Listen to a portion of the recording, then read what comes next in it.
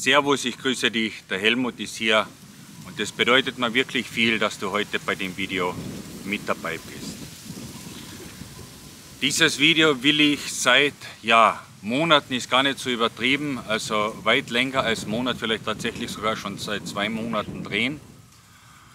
Und ich habe es nie geschafft, nicht aus zeitlichen Gründen, sondern wirklich aus emotionalen Gründen. Und zwar, weil mich dieses Thema ganz, wirklich ganz, ganz extrem getriggert hat. Es triggert mich immer noch ein bisschen wahrscheinlich, aber wirklich extrem getriggert hat. Und wahrscheinlich wäre es auch nicht gut gewesen. Ich habe wirklich versucht, ein Skript zu schreiben, nicht eins.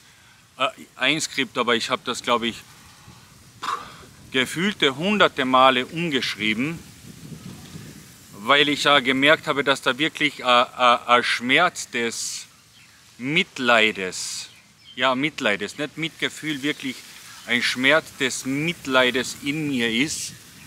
Und da wäre wahrscheinlich sehr stark die Gefahr gewesen, dass ich da politisch unkorrekte Aussagen getroffen hätte. Vor allem in dem Video heute geht es auch darum, wenn ich sage ein offener Brief an alle, die den Metzelder da verurteilen. In dem Video geht es heute wirklich um die Wahrheit aus der Sicht eines Opfers. Und ein Problem ist, glaube ich, generell bei diesem Thema, wenn man bei diesem Thema die Wahrheit irgendwie unverblümt raussagt, dann tritt man wahrscheinlich einen Shitstorm los, dass man sich wahrscheinlich hinten nach fragt, ob man vom Tsunami geküsst worden ist. Könnte ich mir vorstellen, ich weiß es nicht, aber de, diese Gefahr sehe ich sehr, sehr stark. Und zwar die Wahrheit ist auch unter Anführungszeichen ist, was ist die Wahrheit? Ähm, die Wahrheit, deswegen sage ich aus der Sicht eines Opfers, die aus der, eines Opfers, das aus der Opferrolle herausgekrallt ist, würde ich sagen.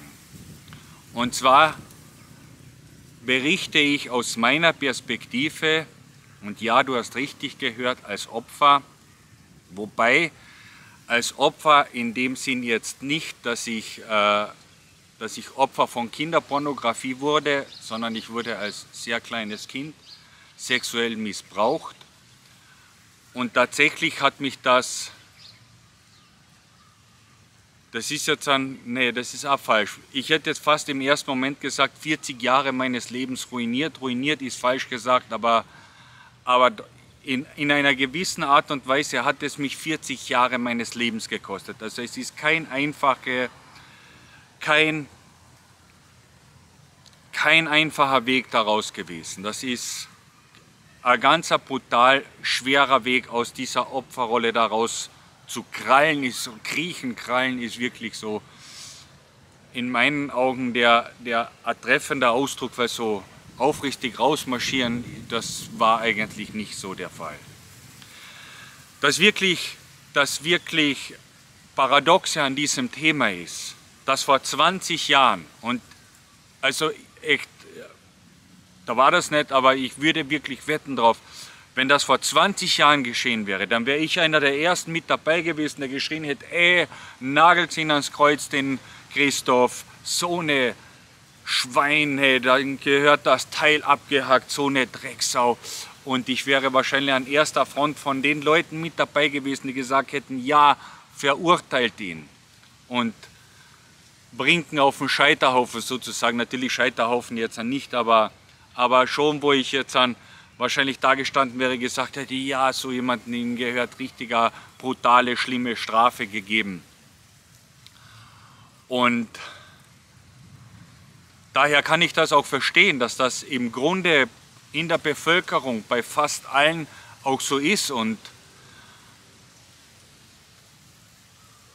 Und das Komische ist, wenn man dann wirklich, also damals, ich hätte damals ja nie zugegeben, dass ich ein Opfer bin sozusagen. Damals hätte ich nie, hey, ich bin ein Opfer und, und wahrscheinlich wäre das als starker, weil ich mich damals nicht mir selber eingestehen, mich nicht getraut habe zu sagen, dass ich ein Opfer bin, hätte ich wahrscheinlich mit drauf gedroschen auf den und weil es eine Möglichkeit gewesen wäre, wahrscheinlich meinen inneren Wut ist vielleicht, ja Wut, Verhalten, ich weiß es nicht, irgendetwas, das innen in dir kocht, das in dir brodelt, aber da, wo richtig das zugekorkt ist, bis zum geht nicht mehr irgendwie. Und da wäre es eine Möglichkeit gewesen, wie beim Druckkochtopf, das Ventil zu öffnen und rauszupfeifen. So in der Art wäre das wahrscheinlich gewesen. Daher ist das etwas, etwas auch paradox, muss man jetzt so ganz ehrlich sagen. Oder für mich wirkt es, oder ja, könnte nicht nur für mich, für den einen oder anderen, wenn der das hört, paradox erscheinen, mit dem, was ich heute sagen werde. Denn das, was ich heute sagen werde, ich möchte nicht zu einer Hexenjagd zum Metzelda beitragen, auch nicht das Gegenteil. Und vorher ganz klarzustellen, ich bin kein, äh, wie soll ich das sagen? Ja, ich, nee, ich habe eh alles gesagt. Ich erzähle das aus der Sicht des Opfers und warum eigentlich, und das ist meine Meinung dazu, jeder darüber nachdenken soll, ob es richtig ist, jemanden so öffentlich zu verurteilen. Und zwar, mir ist es extrem aufgefallen, eben so circa vor zwei Monaten, deswegen sage ich es wirklich vor zwei Monaten, ich wollte damals schon so einen offenen Brief, eine Videobotschaft machen, aber da bin ich immer wieder, wenn ich das Skript geschrieben habe, ich habe geschrieben, ich dachte, Helmut, ne, so kannst du das nicht bringen, weil das wahrscheinlich auch die wenigsten Menschen verstehen würde. Denn dieses Thema ist so extrem tabuisiert worden bei uns. Äh, und die Wahrheit zu diesem Thema, die wird so gehütet, dass du das Gefühl hast, es ist das strengst gehüteste Geheimnis auf dieser Welt. Und aus Sicht des Opfers, es ist ein komplett ähm, ne, es gibt zwei Sachen dazu, glaube ich. Das erste ist, dass die Sexualität eigentlich unsere Lebensader ist, unsere Fortpflanzung. Daher ist es wahrscheinlich ganz extrem mit Scham besetzt, auch für uns, mit, mit der Möglichkeit der Fortpflanzung und so weiter. Daher ist, äh, ist das wahrscheinlich, ja, Scham ein extrem sensibles und heikles Thema, denn in uns genetisch reinprogrammiert ist, dass wir uns gerne, dass wir das Leben weitergeben wollen. In jedem von uns, glaube ich, ist es, dass man das Leben weitergeben will und deswegen, und nicht jeder schafft das überhaupt, glaube ich. Und ich glaube, da ist ja viele Leute, die das nicht schaffen, haben eine tiefe Traurigkeit in sich. Und deswegen glaube ich, dass das also ein extrem sensibles, hochexplosives Thema ist zur einen Seite. Und vielleicht weil es so ist, wird es dann auch noch wir werden ja auch so auferzogen von Kind auf das was ganz Böses und Kinderbedürfnis, also absolut, also nicht, dass das einer falsch, absolut Kinderbedürfnisschutz ist. Das ist meine absolute Lebensmeinung, Lebensphilosophie. Kinder können sich selber noch nicht wehren, die, die, die, die können noch nicht logisch nachdenken, die bedürfen wirklich an, an einer Respekt- und verantwortungsvollen Behandlung.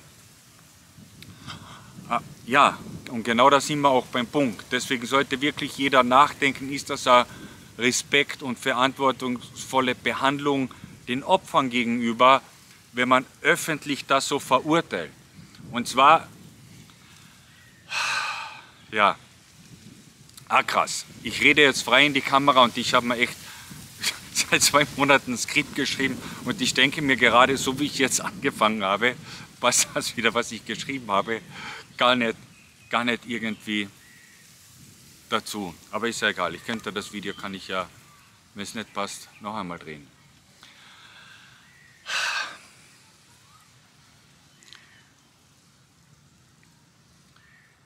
Wir sind ein paar Influencer, also quasi eigentlich direkt wirklich Influencer, die auf Instagram, auf YouTube groß sind, die wirklich sich auf die Gegenseite von Metzelda aufgestellt haben und der kriegt viel zu wenig Strafe und, und wirklich gefordert haben, wie ich sage, so eine Hexenjagd, zu einer Hexenjagd aufgerufen haben, äh, der gehört viel mehr verurteilt und so weiter.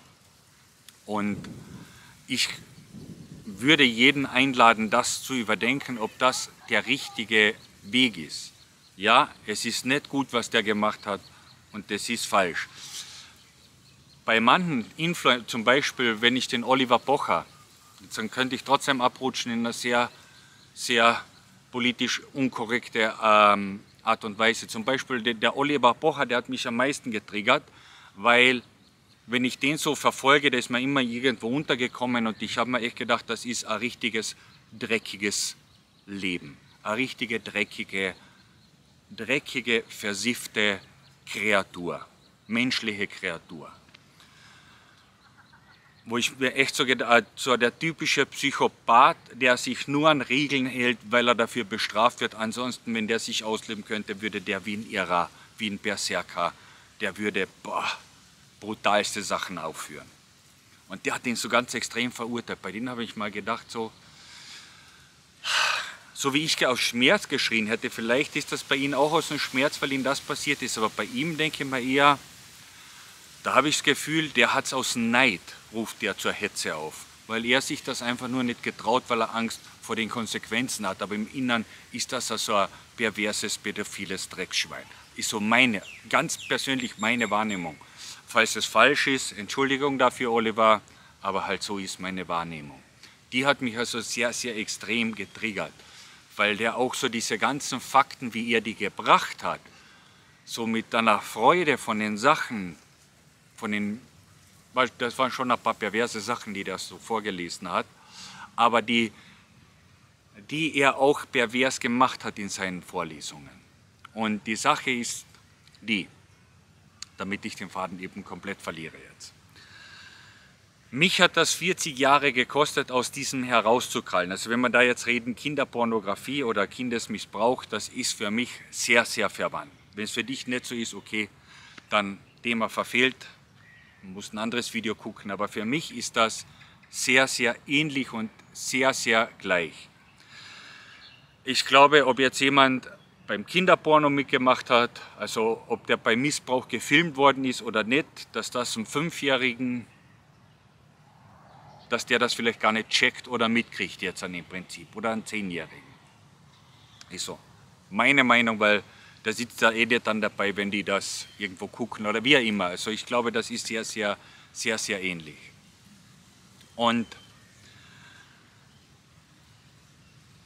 es wird so dargestellt, ist mir halt aufgefallen von denen, die zur Hexjagd aufrufen, so, so dargestellt, auch der, der Simon Teichmann, den ich eigentlich cool finde in vielen Bereichen, da habe ich mal gedacht, buh, wollte schon direkt ein Message unter das Video schreiben wie der so geredet hat, was, wie ein Kinderleben zerstört wird aus diesem Akt heraus des Missbrauchs. Und ich kann dir eines sagen, also ich war vier oder fünf Jahre alt, ich glaube eher vier, du hast da gar keinen Plan, was da eigentlich passiert. De facto, das Leben von dem Akt null zerstört. Null. Zero. Nada. Niente. Nix. Das ist völlig egal. Völlig egal. Und das meine ich jetzt echt aus meiner Sicht des Opfers heraus und aus einer Sicht des Opfers, der es geschafft hat, hier rauszukrallen. Es ist ganz schwer, weil wenn du dich, wenn du Hilfe suchst in Foren, da bist du aufgeschmissen, weil die wollen dich alle runterziehen, rein ins Loch, wo die alle nur dies, mein Leben, mein ganzes Leben ist scheiße und der ist schuld und nur wenn der hingerichtet werden würde, dann wäre mein Leben besser. Aber selbst dann, wenn die hingerichtet oder der Vater oder die Mutter oder der Onkel, wer das immer gemacht hat, hingerichtet werden würden, dann hätten die noch immer Ausrede, warum deren Leben noch immer scheiße ist. Also das verändert, verbessert das Leben nicht und deswegen sage ich aus der Sicht jemand, der wirklich herausgekrochen ist aus dieser Opferrolle aus dieser Scham, ist eine ganz extreme Scham, Schamrolle. Und aus diesem Gesichtspunkt, von diesem Winkel sage ich, es bedeutet nichts. Ich hatte gar keine Ahnung, was ich eigentlich mache. Im Gegenteil. Vielleicht, dass das vielleicht der eine oder andere etwas besser verstehen kann, wer missbraucht, vielleicht auch wer missbraucht worden ist. Vielleicht findet sich da auch der eine oder andere wieder. Bei mir war das eigentlich so, dass ich mich gefreut habe. Bei mir war das mit meinem Vater und ich habe mich darüber gefreut, ich habe doch meinem Vater etwas Gutes getan. So irgendwie. Ich habe Bestätigung ja auch dafür gekriegt von meinem Vater. Und noch, das ist jetzt direkt aus der Sicht eines, ja, wie soll ich das jetzt dann sagen? dann habe ich das eigentlich.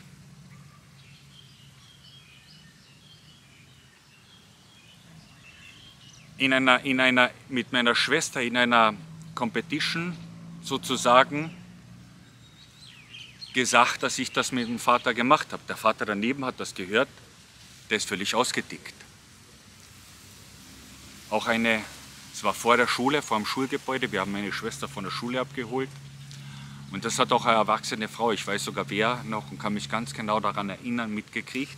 Und mein Vater hat mir sofort so bam die, die Hand vor den Mund mich weggezerrt und da weiß ich noch, da habe ich da diese Frau, eine Nachbarin von uns, ganz genau in die Augen geguckt, die hat ganz genau gehört, was ich gesagt habe, was zu Hause abgelaufen ist und die hat nichts dazu gesagt, das nur mal so nebenbei erwähnt. Mein Vater hat mich dann um die Ecke gezerrt und mir erzählt, dass das nie passiert ist und dass keinen Fall und, und keinem darf ich das erzählen und schon gar nicht der Großmutter. Das war eigentlich das ein bisschen witzig. Hinten nach habe ich manchmal ein bisschen grinsen müssen, seit ich da heraus bin. Was hat er vor der Großmutter, da hat er mehr Panik gehabt als vor der eigenen Frau, wenn die das wüsste. Und erst in, und in dem Moment, muss da nochmal vorstellen, habe ich so eine Art wie, wie Zurückweisung erlebt. So, so wie wenn man jemandem etwas wegnimmt, so, boah, jetzt darf ich das gar nicht mehr machen. Verstehst du, was ich meine? weil du gar keinen Plan hast in dem Alter, was du da eigentlich machst. Und es ist überhaupt noch nicht mit Scham besetzt, weil da bist du ja überhaupt noch in keinem fortpflanzungsfähigen Alter, da ist das im Hirn noch nicht verbunden. Vielleicht irgendwie schon nach Freud, irgendeine Unbewussten, aber da, das fehlt da eigentlich jedes Scham, Schuld oder sonst irgendwie Bewusstsein dafür. Und de facto, wenn das ganz noch, äh, jetzt sage ich etwas ganz Brutales und ich hoffe, wenn du bis jetzt zugehört hast, kannst du das auch so ungefähr nachvollziehen. Wenn das normal wäre, dann wäre ich ohne Schaden aufgewachsen. Wenn das normal gewesen wäre, dass das kein Verbrechen wäre, dass das üblich wäre, wäre ich ganz normal aufgewachsen, hätte überhaupt keinen Schaden gehabt, hätte überhaupt nie dieses Schaden. Ich habe andere Trauma auch noch in meiner Kindheit, aber von dem hätte ich kein Trauma nicht gehabt. Weil dann hätte ich gedacht, das ist normal, passt. Ich hätte mal gar nie einen Kopf drüber gemacht. Daher aber, dass mein Vater das so geheim halten, mich so gezwungen hat, das geheim zu halten, äh, dadurch ist ja erst dieses Trauma entstanden. Aha, da ist etwas. Und dann bleibt das ja im Kopf drin. Das ist ja vielleicht echt daher, dass ich das so als extreme Zurückweisung erlebt habe und irgendwann kriegst du dann das halt mit, dass das eigentlich ein Verbrechen ist, eine Sauerei. Da gucken deine beiden Eltern Fernsehen und sagen, da wird Aktenzeichen XY, Kind missbraucht worden. Ah, was für Schweine, ja. Und mein Vater selber, ja, den gehört der Schwanz abgehackt. Verstehst du das so in der Art? Und du, sitzt, und du checkst das alles nicht. Und dadurch wirst du ja schon fast irre als Kind eigentlich. Und das Schlimme ist aber, weil äh, und, und deswegen wegen dieser Hetzjagd, jetzt dann komme ich zu diesem Punkt. Was es so schlimm gemacht hat, war ja nicht nur wegen meinem Vater, weil du dann mitkriegst von allen, also jetzt an, im Fernsehen, alle sagen in den Zeitungen, sowas ist etwas ganz Schlimmes, was ganz Böses. Jetzt hast du es schon eine Zeit lang in dir und das Problem, das du eigentlich hast, sind die anderen. Also das ist nicht das, was passiert ist. Klar, du gehst her und sagst, das, was passiert ist, weil alle sagen, das ist Schuld.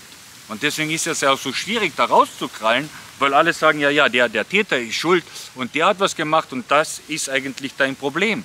Nein, mein Problem war das, dass ich Probleme mich nicht getraut habe, mich anderen zu öffnen, weil alle gesagt haben, das ist so abartig, das ist so pervers, hey, das ist unglaublich und du traust dich ja mit keinem drüber zu reden, du denkst, du bist der Einzige, dem so etwas passiert ist und du denkst so, ach du Scheiße. Und später dann, wenn du in die Pubertät kommst und so weiter, dann wird das erst so richtig brutal, sagen wir es einmal so, weil wahrscheinlich kriegt man dann eben ein anderes Bewusstsein, dann kommen wahrscheinlich neue Verkettungen im Gehirn. Ich schätze einmal, da gibt es gar keine richtige, nee, nicht ich schätze einmal, da würde ich sogar wetten, dass es da gar keine richtige Forschung gibt und dass da die Psychologie so noch nicht einmal im Mittelalter angekommen ist, noch in der Steinzeit irgendwo ist. Und das ist so dieses große Problem. Und das ist auch das, was mich so getriggert hat an diesem Ganzen. Daher ist so mein Aufruf, über jeden nachzudenken, ist es gut, öffentlich so das so negativ hinzustellen, denn so wie es hingestellt wird, als Opfer denkst du, das ist ja eben genau das, weil alle sagen, ey, das ist so ein armes Schwein, das Leben ist verpfuscht, du stehst dann da, mein Leben ist verpfuscht, ja, mein Alter ist, das Einzige, was da bleibt, ist der Hass. Hassen, so richtig hassen, das ist das Einzige, was da bleibt. Weil die ganze Welt sagt dir, Alter, dein Leben ist verpfuscht. Du kannst zwar nichts dafür, aber das ist ekelhaft, das ist grausig, du bist ekelhaft, du bist grausig, deswegen traust dir keinen anderen dich anvertrauen. Und ich weiß ja heute nicht, wohin diese, ich hatte echt Perversionen unter, also nicht Perversionen, aber Sachen, die echt abartig waren in meiner Sexualität als Jugendlicher, dass ich mit einer Frau, bist zwar geil, aber ich konnte mit der nach dem Sex nicht im gleichen Bett sein, hatte klaustrophobische Panikattacken, also wirklich Platzangstattacken, äh, wenn die mich berührt hat und so weiter. Und ich wusste eben nie, wo das herkommt und dann kannst du ja keinen anvertrauen, weil du nicht traust und so weiter. Und heute kann ich sagen, wirklich, eines der Sachen ist eben das, weil das von außen, von den anderen Leuten so verurteilt wird. Ich meine jetzt nicht, dass man sagt, hey, das ist super, weil ich nicht glaube, dass das wirklich gut ist für die Entwicklung von einem, einem Kind. Aber, und ich hoffe, du verstehst mich jetzt richtig, viel schlimmer ist diese öffentliche Verurteilung, auch der, der, der Täter es wird ja nicht der Täter, du siehst ja nicht, dass der Täter verurteilt wird, sondern der Akt, als, als Opfer siehst du, der Akt wird verurteilt. Ah, ich bin scheiße, weil ich bei diesem Akt mit dabei war. Verstehst du? Und das ist diese ganz extreme, wirklich extremste negative Seite. Und das möchte ich gerne, ja, daher drehe ich dieses Video, weil vielleicht hat der eine oder andere den Anstoß daran. Also nicht, dass man es gut heißt, bitte. Nicht das falsch verstehen. Nicht zu sagen, ey, super, wir feiern jetzt den Typen. Na, ist keine korrekte Sache. Ich finde den Typen echt ekelhaft, also mit diesen paar Sachen ja mitgekriegt, wie der was mit der Frau. Ich denke mal, was ist denn das für ein, keine Ahnung, perverser, ekelhafter Schwachkopf. Eigentlich Schwachkopf ist mal so, ich, ich mal echt gedacht, ein Trottel, ein, gestörter Trottel, habe ich mir so gedacht. Ich kann das gar nicht richtig.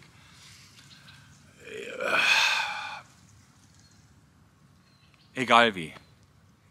Ähm, trotzdem möchte ich eben, dass es geht darum, den nicht, nicht diesen Akt nicht öffentlich so natürlich, wenn ich jetzt aufrufen würde, dass man das normalisieren sollte und sagen sollte, wenn dir das passiert ist, ist das normal, dann wird das sicher nicht passieren. Aber das wäre, glaube ich, meines Erachtens das Beste für die Opfer, dass die das Gefühl bekommen, die sind normal. Das ist das Schlimmste, du hast das Gefühl, du bist nicht normal, du kannst dich nicht connecten mit, du kannst dich mit mir, mein Problem war, über 40 Jahre gedauert, ich konnte mich mit mir nicht connecten. Ich war immer wie zweigeteilt eigentlich, 40 Jahre, weil ich mich niemals jemanden äh, in der Psychiatrie nicht, in der, in, bei den Psychotherapien niemals getraut habe, mich dem Psychiater anzuvertrauen. Das war zu extrem mit Scham versetzt. Ich hätte mir lieber umgelegt, als das irgendwen mitgeteilt. Und viel spielt eben mit durch dieses, dass man von außen, das kriegt man mit und dann potenziert man das wahrscheinlich ja noch einmal selber in sich. Und, das, und die Leute sind da so drauf, das war ja auch meine erste Erfahrung, wo ich dann gesagt habe, das war vor drei Jahren in Chiang Mai, da habe ich gesagt, so, 40 Jahre meines Lebens verschissen, ich habe das geheim gehalten, das hat mich dahin gebracht, an den absoluten menschlichen Abgrund. Da habe ich mir gedacht, so jetzt dann, egal wie, das wird nicht mehr geheim gehalten, das wird aufgearbeitet jetzt. Und da war so, die ersten zwei Leute, mit denen ich darüber gesprochen habe, die mich so, die so sich als meine Freunde geoutet haben, die waren so angeekelt von mir, die wollten mit mir danach nichts mehr zu tun haben. Das ist nämlich geil als Opfer dass die Ersten, denen du dich anvertraust, dann die so, hey, weißt du, wo du merkst, so, die ekeln sich voll an und dann, dass die einfach keinen Bock mehr haben, die sich mit dir nicht mehr treffen, keine Zeit mehr und so weiter. Äh, verstehst du? Aber die würden wahrscheinlich genauso mitschreien, ja, die Sau gehört verurteilt. Und da ist die Frage, wer ist denn da mehr Täter eigentlich? Wer ist denn jetzt mehr Täter? Ich sage dir, und das ist ganz brutal, all die Leute, die verurteilen, sind mehr Täter als der Christoph. So, so knallhart das klingt, aber das kann ich dir auch sagen. Wenn die Leute nicht das so verurteilt hätten, urteilen würden, hätte ich das Problem nie gehabt. Wäre ich überhaupt nie auf die Idee gekommen, ein Problem zu haben, weil ich das eh nicht gecheckt habe in dem Alter, was da eigentlich abgeht. Da passiert da eigentlich nichts. Und heute kann ich ja sagen, ja, nee, ist, was, was soll das? Ist ja, beim Arzt muss der deine Geschlechtsteile irgendwo hinzeigen. Da hat der keiner ein Trauma davon. Verstehst du? Wenn da schlecht geredet werden würde, dann hättest du auch ein Trauma davon, weil bist ja auch ein bisschen schamig beim Arzt und so weiter. Und das voll zu explorieren wäre jetzt am viel zu viel. Das, was da die ganze Gesellschaft die letzten Jahrhunderte da in die falsche Richtung, und nicht in die falsche, aber in eine sehr komische, in eine nicht opferfreundliche Richtung getrimmt hat, kannst du nicht, kann ich jetzt nicht in ein Video mit, mit 20 Minuten da irgendwie hin, äh, wieder in die richtigen Bahnen lenken. Aber mein, meine Freude wäre, wenn der eine oder andere darüber nachdenken würde, ob das, dass man vielleicht einfach leise sein sollte darüber und sagen sollte, schlimm, dass so etwas passiert, ja, aber vielleicht irgendwie ein Ding setzt, zu sagen, ja, für die Opfer, es ist was Normales, der braucht man sich nicht zu schämen, da braucht man nicht das wäre irgendwie viel wichtiger, dass das im Bewusstsein der Leute wäre. Das würde den Opfern, den Kindern viel, viel mehr helfen. Denn diese Kinder, die da beim Metzelda in den Fotos waren, die werden irgendwann mal 20 sein. Und die werden sich niemandem anvertrauen, wenn ihr so weitermacht. Die werden sich nie, nicht, nicht getrauen, sich jemandem anzuvertrauen, weil sie mit Scham besetzt sind und werden Minderwertigkeitsgefühle haben, die sich irgendwo aus wirken, wie das bei mir war, dass man irgendwie niederschlägt, um irgendwie ein Gefühl des Wertes zu kriegen, zu sagen, ich bin mal Obereinen, das war ja so bei mir. Es kann so sein, es kann sein, dass die eine Borderline-Störung kriegen oder wie auch immer sich selber töten, sich aufschlitzen und all so Sachen machen. Also mit dem, wenn du wirklich so diesen Kindern helfen willst, dann wäre es besser zu sagen, ja, ist ganz normal, da braucht man sich nicht für schämen, wenn einem so etwas passiert. Das ist so, wie wenn man, keine Ahnung, auf der Straße überfallen wird und man wird ausgeraubt, da braucht man sich auch nicht dafür schämen. Wenn man einen Unfall hat mit dem Auto, braucht man sich auch nicht dafür schämen. Es ist einfach so, passiert einfach. Es gibt einen Schuldigen beim Autounfall, bei sowas auch, passt, gehört verurteilt, aber nicht dieses als so brutal wie, oh, dass, dass diese Kinder eigentlich immer mehr in ein traumatisches oder aus dieser traumatischen Kapsel sich gar nicht mehr heraustrauen. Jetzt habe ich bestimmt super viel nicht gesagt, was ich mir aufgeschrieben habe, das weiß ich. Ich lache ja darüber, ist eigentlich überhaupt gar kein Thema zum Lachen, aber es ist ein bisschen so, weil ich seit zwei Monaten wirklich schreibe und ich habe manchmal 10, 12 Seiten gehabt schon, äh, habe dann wieder neu geschrieben, das andere wieder gedacht, okay, das löschen wir lieber wieder, das ist zu. Ich glaube, eigentlich glaube ich in dem bisschen schlimm habe ich über den Bocher geredet, aber das war also meine Meinung, vielleicht gut. Und ansonsten hätte ich wirklich vor, vor zwei Monaten noch, da hätte ich echt so, da war ich noch so, da hätte ich echt gesagt, ihr Leute, die verurteilt, ihr seid schuld, weil das war, das hat mich 40 Jahre meines Lebens gekostet. Und die erste Ding war auch noch die Bestätigung dazu. Verstehst du? So, hey, naja, eine hat mir überhaupt, mit einer habe ich auch noch geredet in Chiang Mai, die hat mich dann gleich auf Facebook blockiert aber auch so, hey, ne, alles super und hier und uh, let's hang out wieder und so. Und da wollte ich sie auf Facebook anschreiben, denke mal, ich finde den nicht mehr, habe ich den nicht mehr gefunden. Ne? Hat die mich original voll wegblockiert. Und das trifft dich aus, hat mich auch getroffen, aber ich wusste eben, aber so stark ist, bist du nur, wenn echt am Abgrund stehst. Sagst entweder aus jetzt oder sonst hier, ich gehe in die andere Richtung. Und manche schaffen das eben dann nie, weil die vielleicht nie so alleine, ich weiß es gar nicht. So ist es. Bin wirklich gerührt, dass du mit dabei bist bis zum Schluss. Ich hoffe, ich habe in dich ein gewisses Bewusstsein gepflanzt. Vielleicht bist du auch Opfer und verstehst dich selber ein bisschen. Vielleicht hilft dir das auch als Opfer, den Hass auf den Täter zu nehmen, weil es bringt nichts. Es verändert, es, das bringt keine Heilung, keine Verbesserung der Emotionen in, in keinem Bereich. Das kann ich wirklich aus der Erfahrung sagen. In dem Sinn, ich danke dir. Alles Gute.